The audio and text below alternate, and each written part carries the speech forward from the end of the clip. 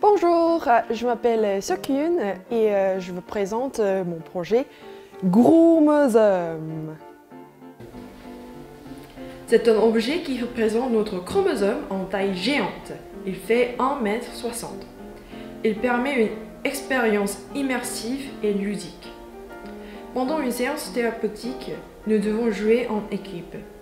Ce jeu nous fait comprendre la flexibilité et la fragilité de notre ADN.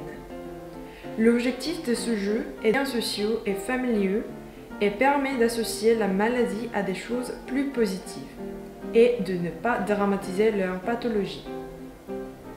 J'utilise le textile ciré pour hygiène, facile à laver et rigide. Chaque partie est collée avec du velcro. Pour susciter des émotions positives, je choisis des couleurs vives.